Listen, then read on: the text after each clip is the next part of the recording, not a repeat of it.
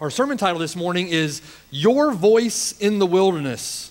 Your Voice in the Wilderness. And we're looking here at John chapter 1, verses 19 through 28. And today, coming to verse 19, we now begin uh, the narrative portion of John's gospel, where we'll begin to see the prologue or the first 18 verses fleshed out now in the rest of John's writings here. So from verses 19, chapter 1, verse 19, through chapter 2, verse 11, we're going to see an account now of the first week in the ministry of Jesus Christ, the seven days that began the earthly ministry of our Lord. In the first three days that we'll come to today, we'll begin to see John the Baptist giving testimony of Christ. In the next three days, we'll see Jesus Christ with his disciples. And on the seventh day, we'll wrap up the first week uh, with the first miracle of Christ turning the water into wine at the wedding feast at Cana.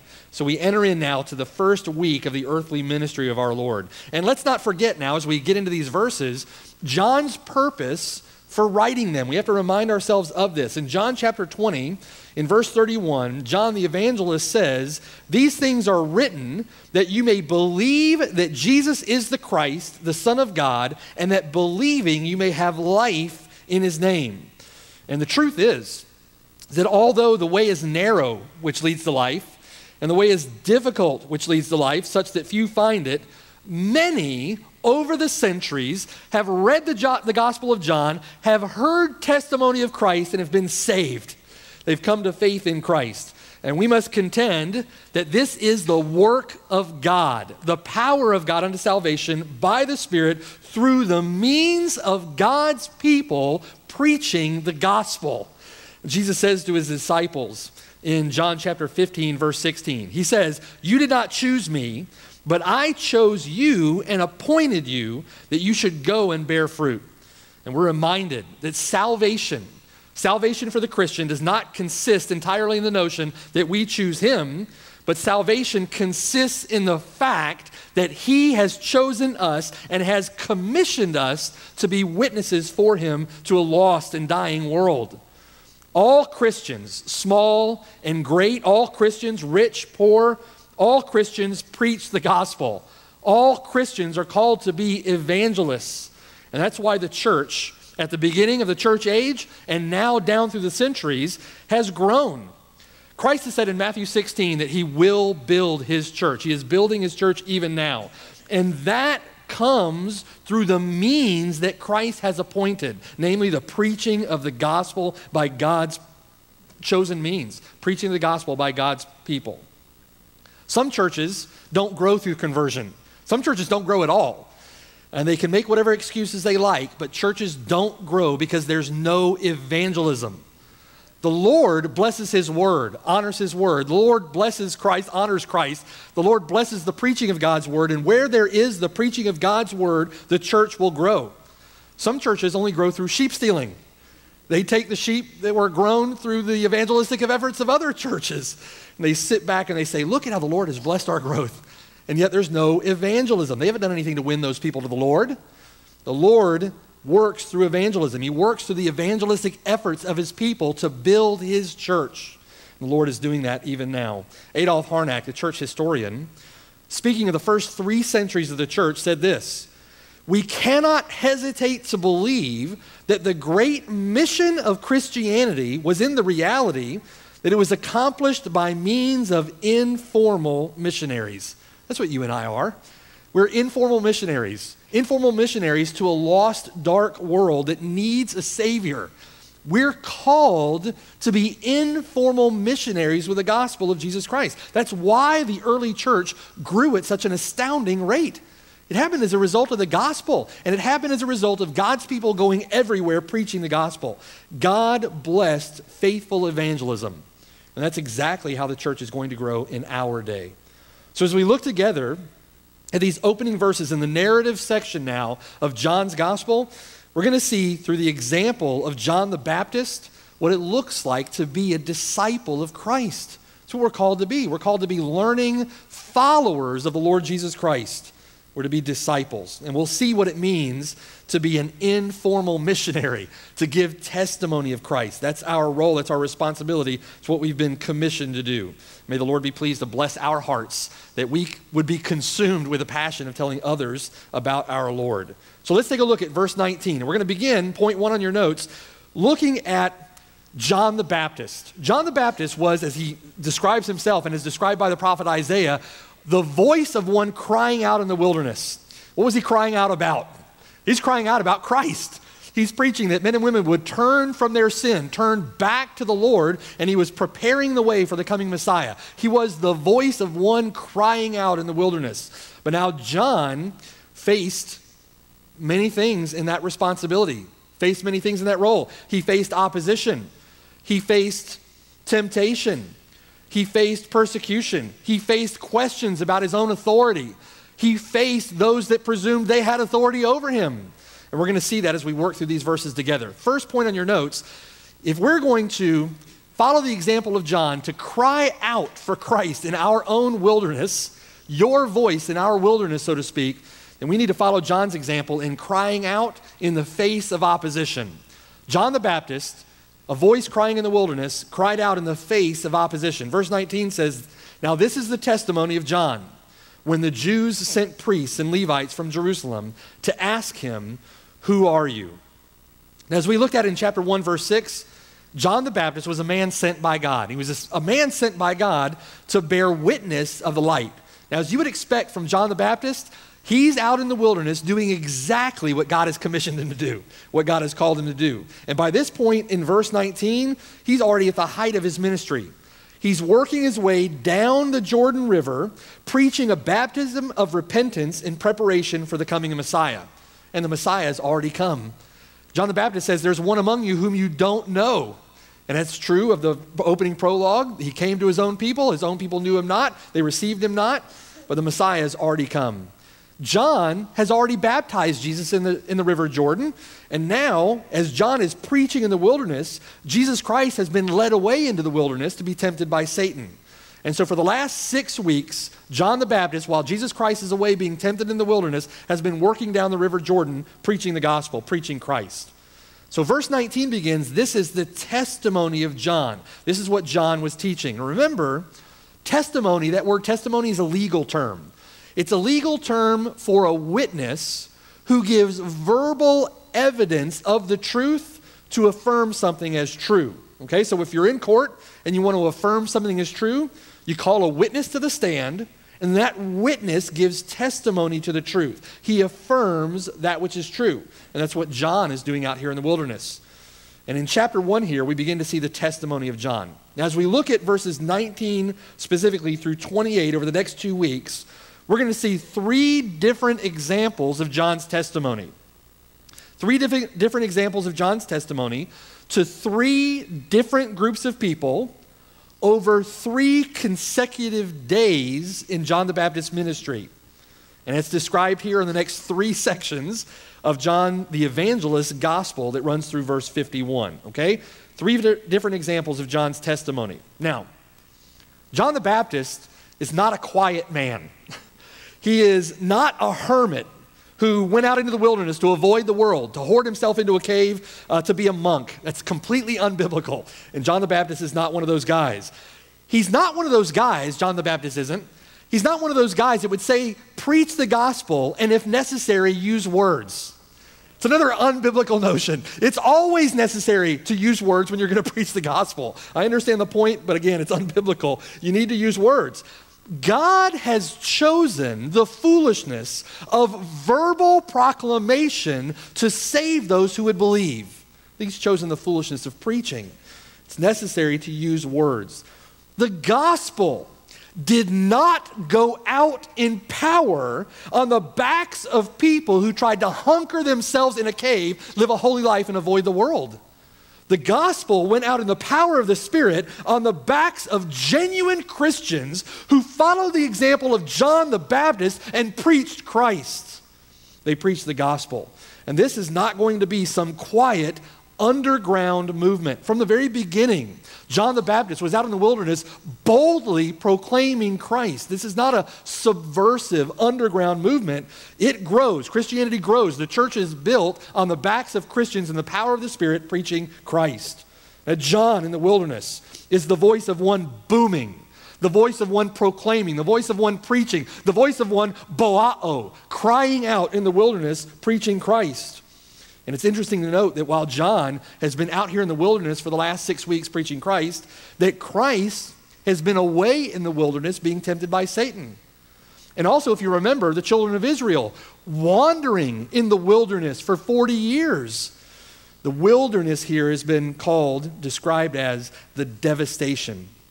Before the children entered, the children of Israel entered the promised land, they were in the devastation. They were in the wilderness. They were in the abandonment. Also, a word used for waste. Now, get this. The wilderness here is a picture of the spiritual condition of the people. The wilderness here is a picture of the spiritual condition of this world in which we live. Is it any less a wilderness today than it was back then? No. In many cases, you can make the case that it's more so. It's more so a wilderness today. There is a wilderness that you and I live in. It's a wilderness of Orlando. It is a spiritual devastation. It's a spiritual, if you will, waste. That's because of sin.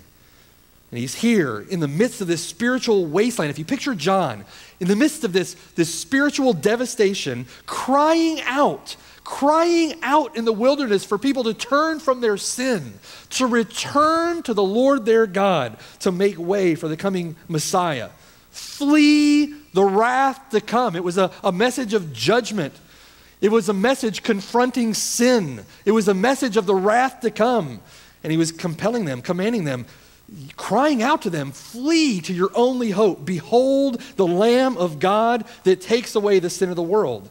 He's giving testimony out here in the desert. He's giving testimony of Christ. And we too live in a spiritual wilderness. We live in a devastation all around us. And every Christian, in the same way that John the Baptist was called by God and sent by God to bear witness of the light, to give testimony, in the same way, every Christian is called by God to preach the living water in the drought. They're called by God to go out to the devastation, out to the wilderness, and preach the living bread of life in the famine. We're called to preach Christ. We're called to, with bold voices like John's, to cry out, Boao, in the wilderness for Christ. And when you do that, is that a strategy for winning friends and influencing people? No. No, it's not. When you do that, what are you going to get? Persecution, you're going to face opposition. It is a strategy for winning the lost, it's a strategy for winning brothers. It's a strategy for being an influence for the kingdom, but you're not going to make many friends and influence people preaching the gospel. You're going to face opposition. Paul says, Yes, and all those that desire to live godly in Christ Jesus may suffer persecution. No, all those that desire to live godly in Christ Jesus might suffer persecution. No, everyone who desires to live godly in this present age will suffer persecution. Jesus himself said, Blessed are those who are persecuted for righteousness' sake, for theirs is the kingdom of heaven. That's every Christian. Now you have to ask yourself, you know, I think I'm a Christian, but I'm not suffering any persecution. You know what? I can't remember the last time I've suffered persecution. You have to ask yourself why. Paul has said all those that desire to live godly in this present age will suffer persecution. Jesus Christ, speaking of citizens of the kingdom, saying, Blessed are those who are persecuted for righteousness' sake, for theirs is the kingdom of heaven. Why are you not suffering persecution for Christ? Why not? I'd submit to you the why not is because you're not opening your mouth for Christ. If you evangelize, if you're faithful to preach as God has commissioned us to preach the gospel to lost people. If you go out in the wilderness that we live in and you preach Christ to lost people, you're going to face opposition. You're going to face persecution. If you face no opposition, you face no persecution, it's because you're not preaching. That's all that can be said about that. You're going to face persecution when you open your mouth and use your words. It's interesting that in verse 19, when it says there that John is giving testimony, That word for testimony in the Greek is martyria. That's where we get our English word martyr from. A martyr is one who has given his voice for Christ, and then after giving his voice for Christ, gives his life for Christ. All because of their testimony of Christ. You've heard of the magazine, The Voice of the Martyrs. Their voice crying out in the wilderness leads this wilderness of a world to take their life. John the Baptist certainly gave his voice, and he in turn gave his life for Christ. Charles Spurgeon said this The good man has his enemies. He would not be like his Lord if he had not. If we were without enemies, we might fear that we were not the friends of God. Do you get that? If we were without enemies, we might fear that we were not the friends of God, for the friendship of the world is enmity to God. When the Bible says that all those that desire to live godly will face persecution and you face none, there's a reason. It begs the question, why? It begs the question, why? I love this story about John Wesley. I think it's my favorite John Wesley story. But John Wesley, persecuted everywhere that he went. He went from town to town to town to town, preaching the gospel. Everywhere that he went, he had eggs thrown at him, bricks thrown at him, tomatoes thrown at him, whatever piece of rotten food was at you know arm's length thrown at him.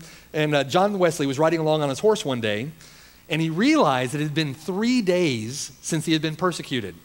He thought to himself, It's been three days, and I've had no egg thrown at me, no tomato, no brick. And so immediately, um, he stopped his horse, uh, slipped off his horse, and said out loud, Could it be that I am backslidden or I've sinned? And so, kneeling there next to his horse, he knelt down to pray and he asked the Lord to show him if there was anything wrong in him spiritually. There was a man nearby who disliked Wesley. He saw him kneeling in prayer, and so he picked up a brick and he threw it at him, barely missing the preacher. And so Wesley saw the brick fly by his head and he said, Thank you, Lord. I know I still have your presence. Love that story about John Wesley. True story. It's a cause for concern when we face no opposition. The gospel is going to engender opposition because this is a wicked world that we live in. This is a wilderness that we live in. So back to John the Baptist. John is literally in the wilderness, and he is spiritually in the wilderness, garnering a great deal of attention from his bold preaching about Christ. Multitudes are coming out to hear him. The Bible says that multitudes from Jerusalem, from Judea, all the region around the Jordan, are all pouring out to hear John the Baptist preach and to be baptized by him. And so, in drawing all these multitudes, what does John also inevitably draw? He draws opposition. Verse 19 says, the Jews sent priests and Levites from Jerusalem to ask him, Who are you? And we need to set it straight right from the beginning. This was no friendly visit. The Jews, the priests and Levites, weren't coming out to thank John for his faithfulness to the Lord in preaching the gospel. Uh, this was an ominous foreshadowing of the persecution that is about to come.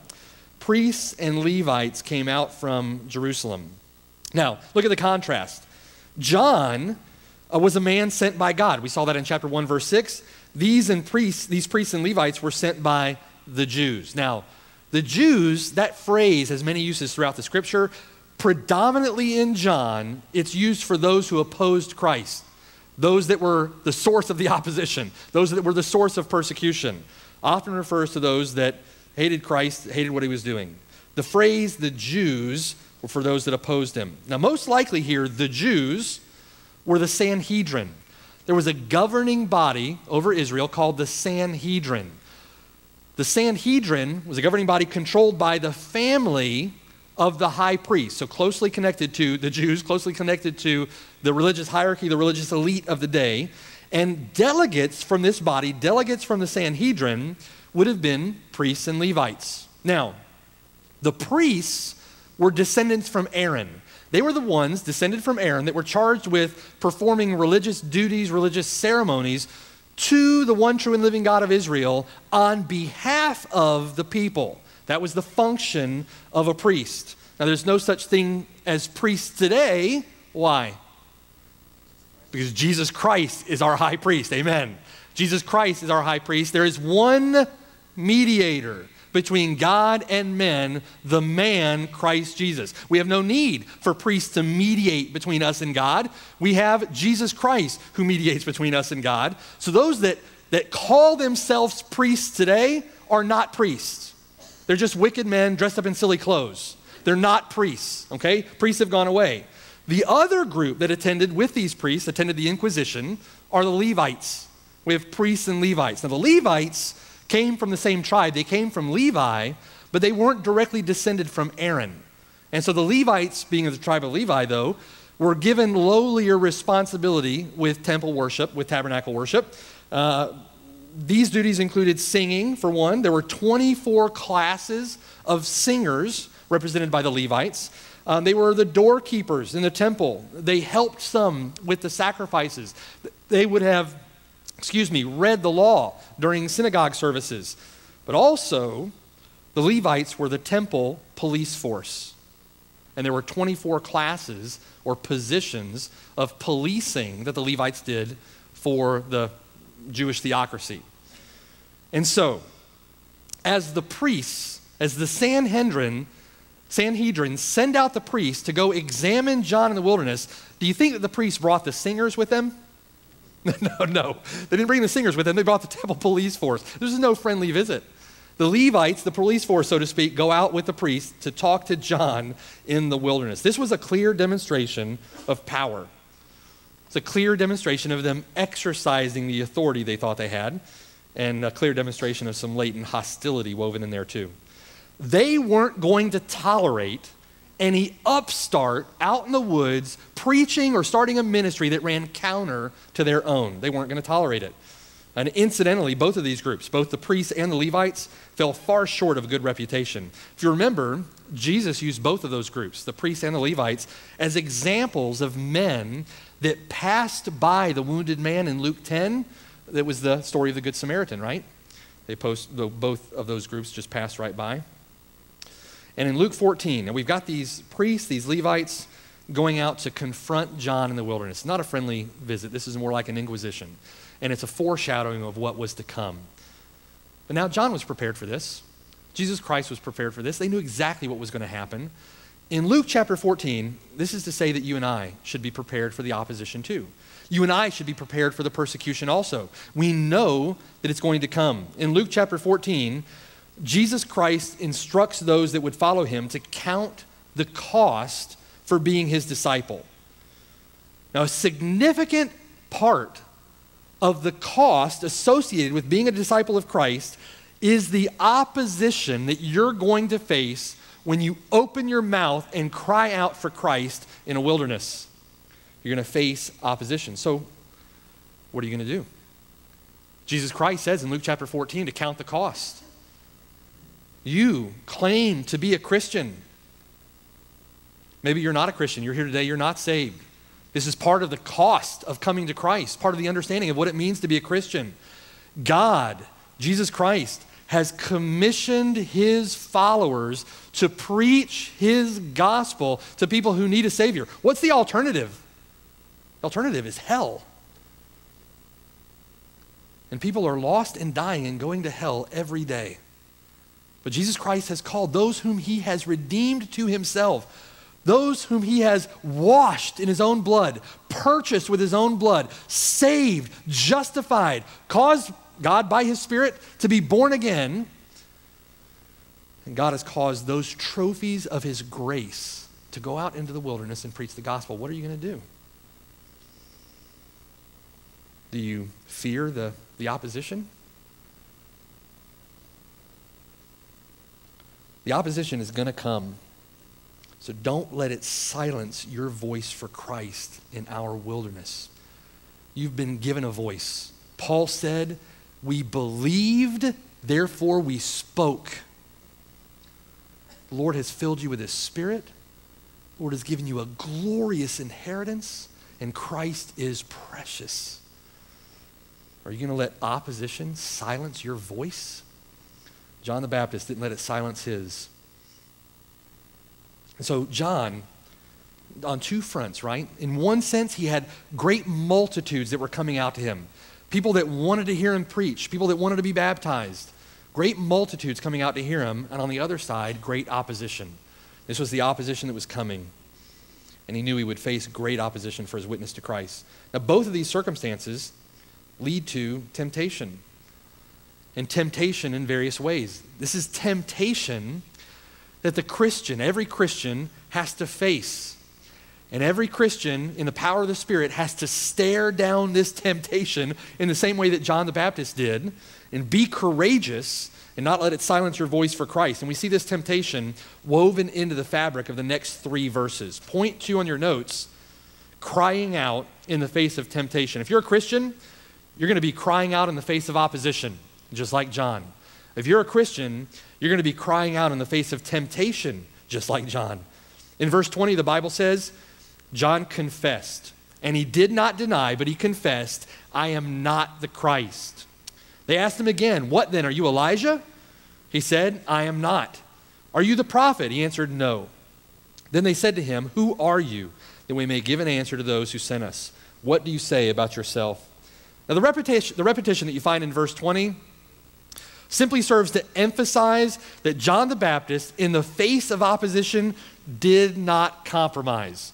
He didn't compromise his voice, he didn't compromise the truth, he didn't compromise Christ. He confessed. He did not deny, but he confessed, I am not the Christ. It means he clearly stated and he did not hedge his words.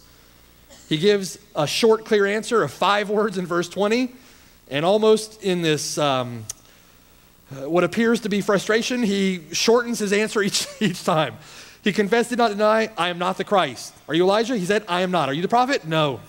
From five words to three to one, uh, he is simply stating what he's been called to to preach. John was faithful to the Lord. And in being faithful to the Lord, he was faithful to the message that the Lord gave him to preach. So we see woven into the fabric here of these three verses we see two primary temptations that John certainly had to face. And John continued, a voice crying out. He continued crying out in the face of temptation. One, considering the multitudes that came out to see John, considering the effectiveness, the impact that his ministry was having, the first temptation would have been the temptation to pride.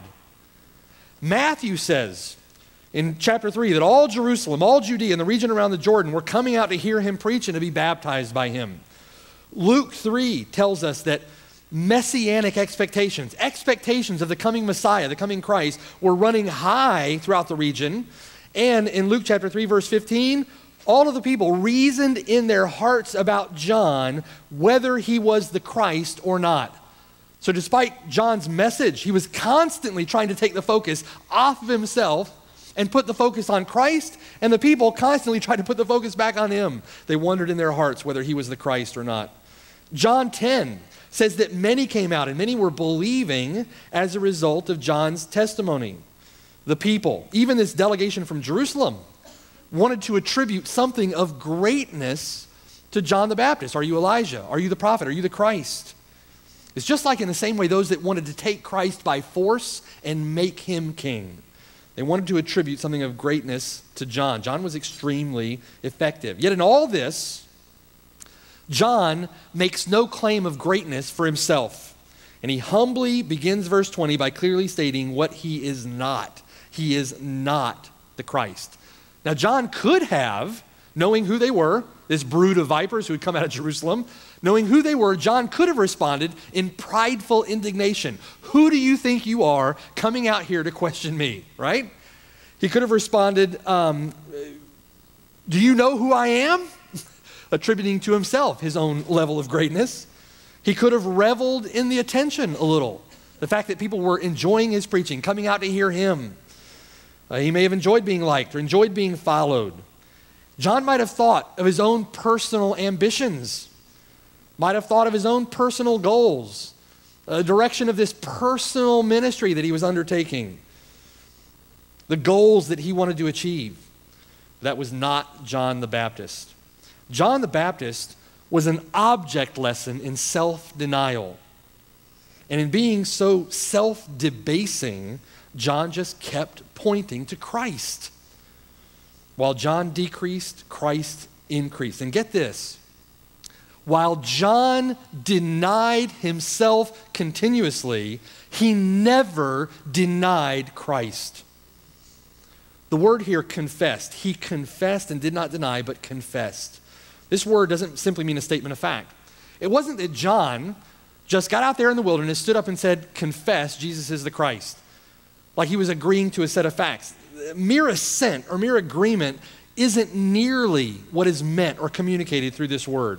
The word confess means to profess in a manner, to attest to in a manner that is observable through commitment and action.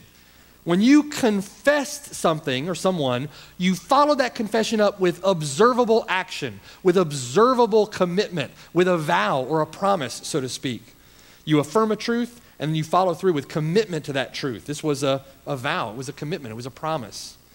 And in confessing that he was not the Christ, John is just forgetting himself and confessing Christ, right?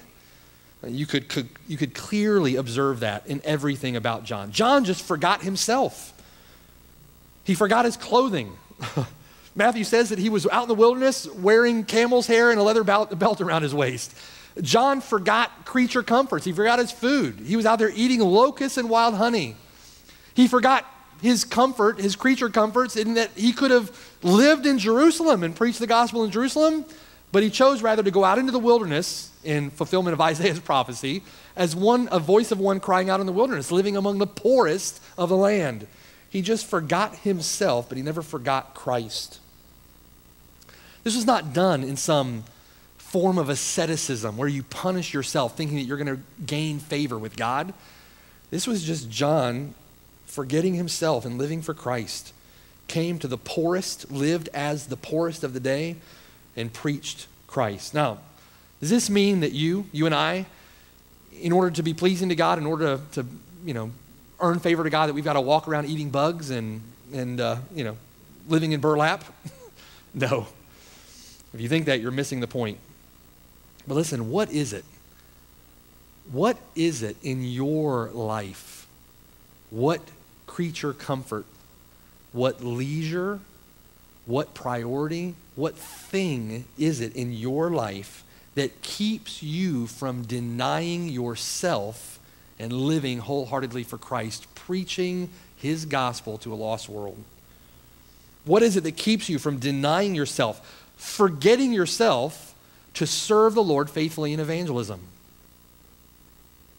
You know, people look at their schedule and it's, man, I don't have enough free time.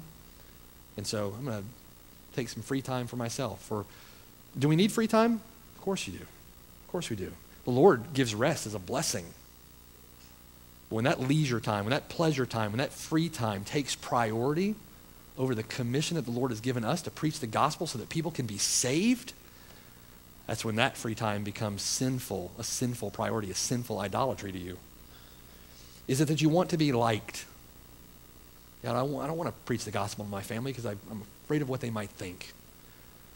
You fear opposition. Paul says that if he pleases men, he's no longer a slave of Christ.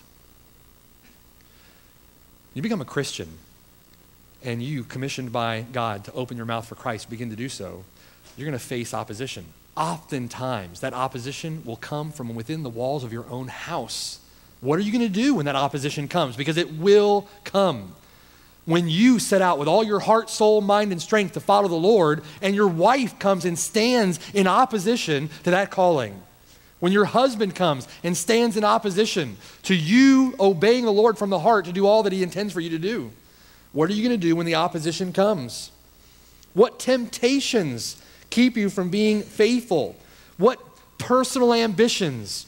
What personal interests? What goals? What likes? What dislikes? Are you thinking about that other person that's in a spiritual wasteland who needs to be saved? They're blind and dead in the wilderness. Listen, you have a voice. When the Lord saved you, He gave you His glorious gospel to preach. I'm always amazed at Paul. He, was a, he says, a testimony of himself I was a violent man, an insolent man, proud, boastful. And yet the Lord was merciful to me. How was He merciful to Paul? Placing him into the ministry. And you and I have been given this glorious salvation, purchased by Christ, and then God sends us, God places us into the ministry. You have a voice, and if you use your voice, God will use it. His word doesn't return void. Be the voice of one crying out in the wilderness. Don't be silent. Don't be silent. James Montgomery Boice tells the story of a young man. He's a Christian convert in an African village um, with an extremely painful disease called elephantiasis. Elephantiasis. And elephantiasis is a disease which uh, affects uh, body tissues, affects the limbs. And um, this young man had elephantiasis. It affected his legs. Uh, the body tissues expand and harden. It becomes extremely painful, and limbs just become enormous. Just um, where the, the elephant man syndrome. You've heard of that before. Well, this young man's uh, elephantiasis had affected his legs, to, such to the point that he could hardly walk. It was extremely painful to get around. Well, this young man, uh, Christian, in his village, went to every person in his village, walking, obviously, walking to every, vill- every person in his village, preaching the gospel to them. Everywhere he went, painfully walking to preach the gospel to every person in his village. When he ran out of people in his village to share the gospel with, he started making the two mile hike to the next nearest village to preach the gospel to them. And he went every day, two miles from his village to the next closest village to preach the gospel to those villagers. And he worked his way every day through that village until he had no one else to talk to. When he had preached the gospel to everyone in that village, he started making the 12 mile hike through the jungle, leaving before daylight, often returning at midnight to preach the gospel to everyone in that village. Very painful, and yet he just forgot himself in service to Christ. You know, in this, this day and age that we live in, with the comforts that we have, what do we give up? Right? What are you willing to give up? You willing to give up that TV show? Willing to give up an hour of free time? I mean, what are you willing to give up? This young man just forgot himself in service to Christ. He not only gave up comfort, he endured pain. It's been said throughout church history that one of the leading factors to growth in the church and personal growth among Christians is persecution. When Christians face persecution, they themselves grow, but the church grows. We live in such a comfortable age, just overrun with leisure and pleasure. We need to be convicted by that. There's another temptation, though, that John would have faced. The second temptation that John would have faced would have come through uh, or at the hands of the opposition. That's a temptation to fear. A temptation to fear. The fact that John confessed and did not deny means that John was faithful to Christ in the face of growing opposition. To deny, to confess Christ, would have been for John the Baptist to deny his responsibility, to deny his role, to deny his commitment, to deny his vow, to deny Christ himself. But John the Baptist did not deny. He confessed, I'm not the Christ. And in the face of opposition, John just kept pointing away from himself and pointing lost people to Christ. So he remained faithful to his calling, faithful to who he was. And who he was, as we go through these verses, we're going to see, is becoming increasingly problematic. So these questions from the, the Jerusalem antagonists keep coming. And John's answers just get shorter and shorter. They asked him in verse 21, What then? Are you Elijah? He said, I am not. Are you the prophet? And he answered, No. Now let's unpack this for a moment. This is important. Elijah, for them to ask that question, it wasn't a bad association, all right? John not only had the demeanor of Elijah, he resembled Elijah. If you read about Elijah in 2 Kings, John dressed like Elijah. John ate the same food that Elijah ate. He probably smelled just like Elijah smelled being out in the wilderness. He had the same temperament that Elijah had. And just like Elijah, he lived out in the wilderness a holy life, just confronted sin, preached about the coming judgment. And just like Elijah, you couldn't separate Elijah's life from his words. With John the Baptist, you couldn't separate his life from the message that he preached. He was a godly, godly man.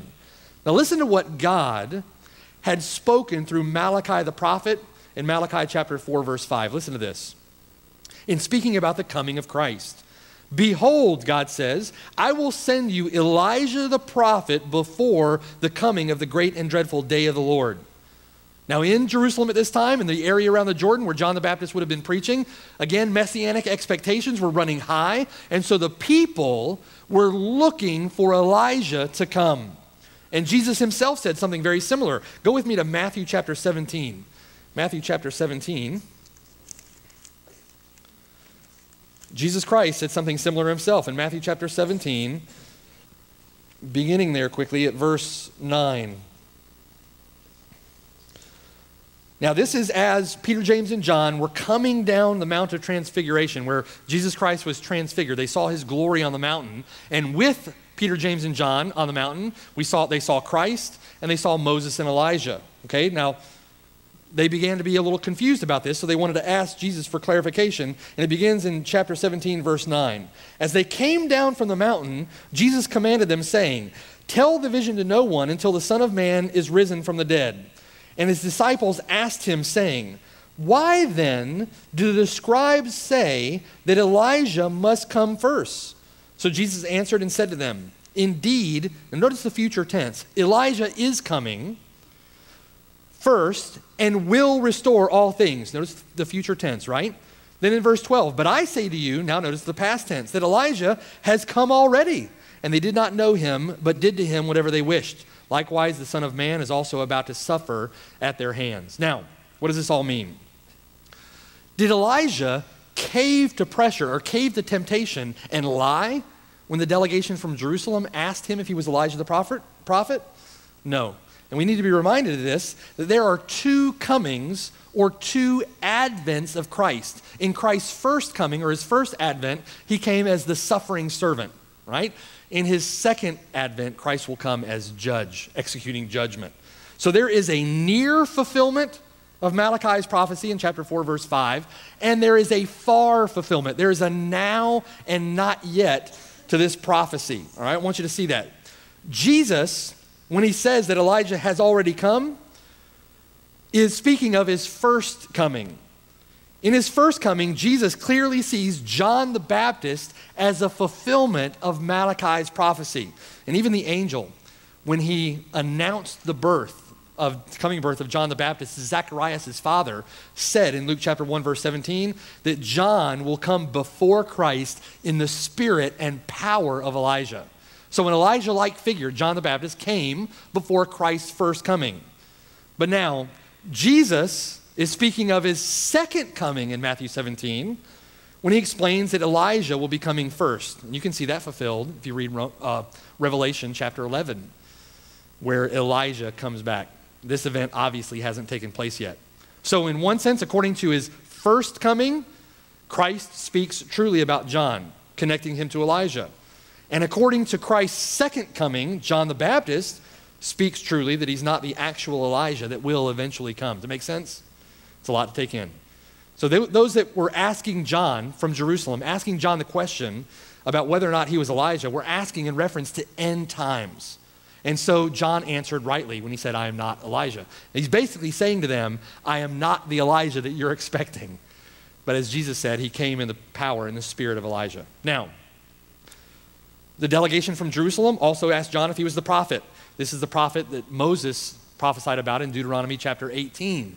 Some people associate that with Christ. Some people associate that prophet with Moses himself. We don't know who that prophet is. We simply don't know.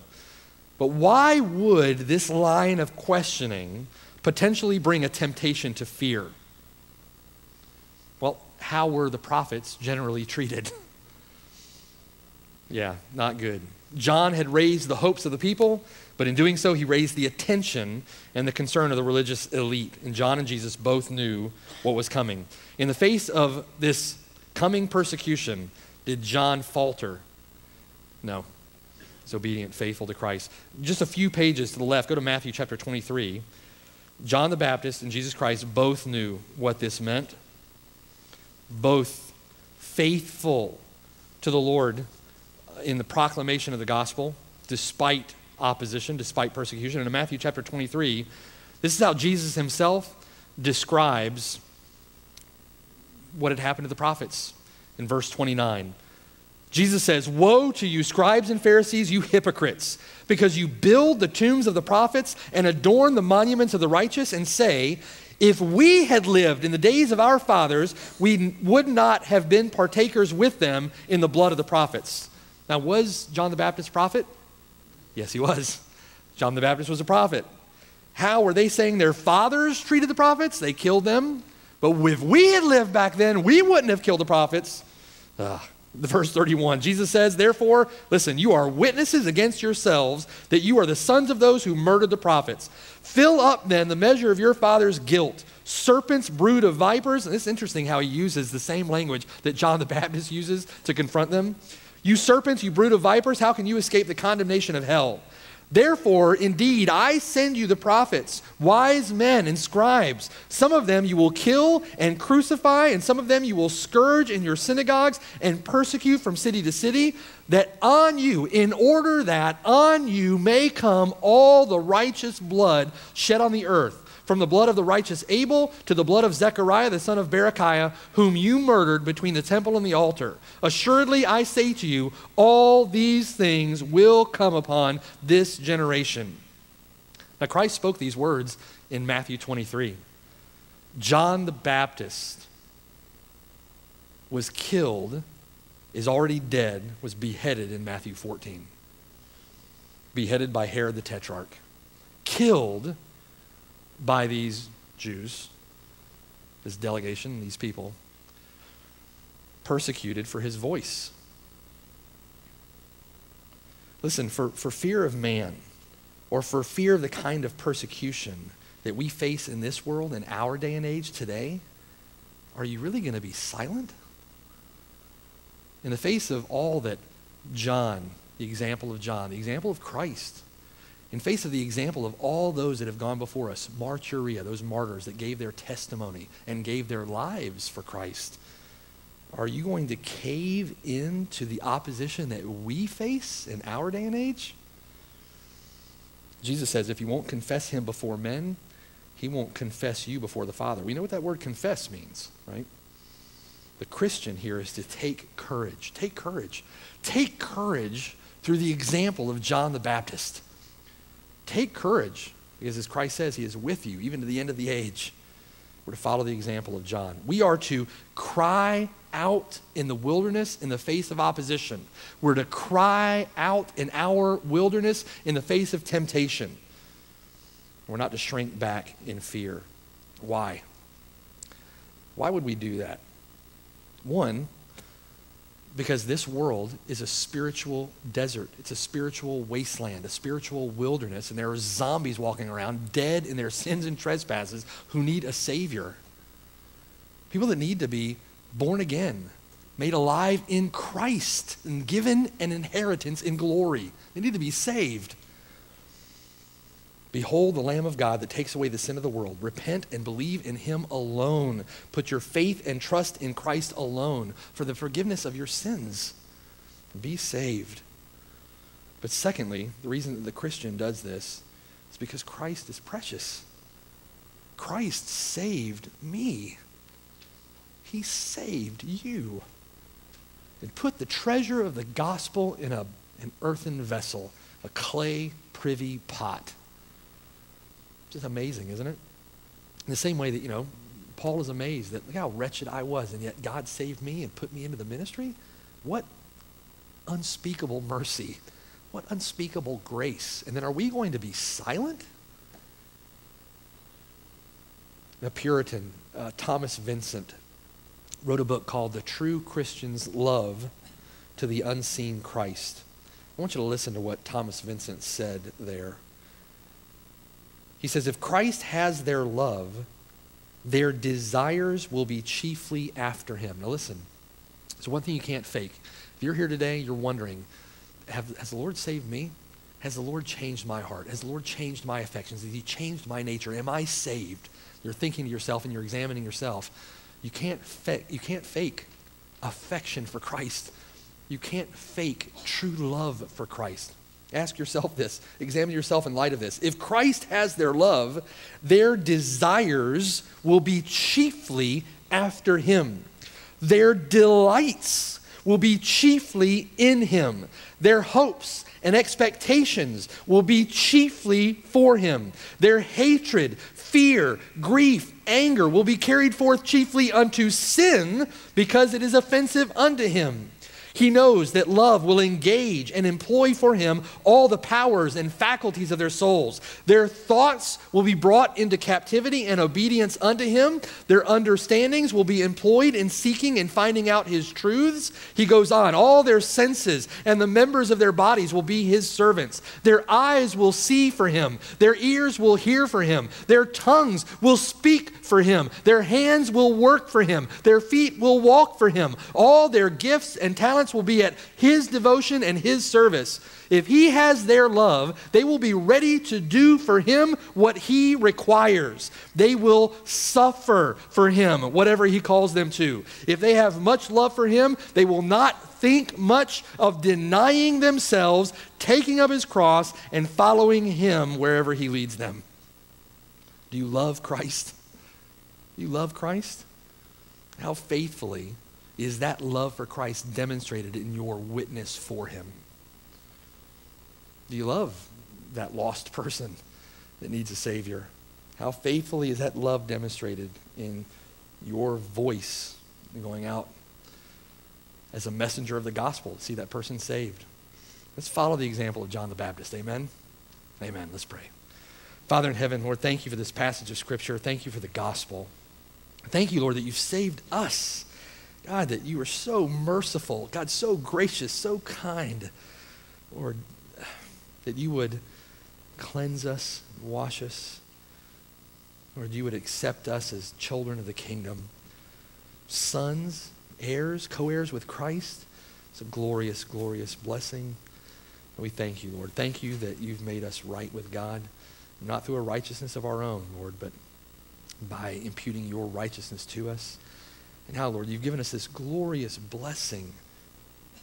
So, out of love and gratefulness to you, out of great love for you, find us faithful, Lord, to be faithful with that message, to be the voice of one crying out in our wilderness of the mercies and the excellencies of Christ. For your glory, God, for your everlasting praise and worship. We pray all these things in the name of our blessed God and Savior, Jesus Christ our Lord. Amen.